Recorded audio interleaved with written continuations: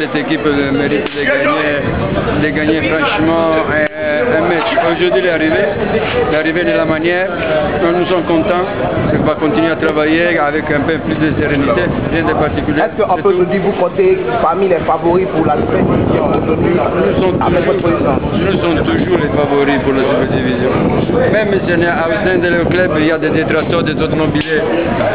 Mais malheureusement pour nous, on n'a qu'à boire un peu de de, rage en plus, parce que nous va devenir encore champion. Donc, Toto Nobile est serein Je suis très serein.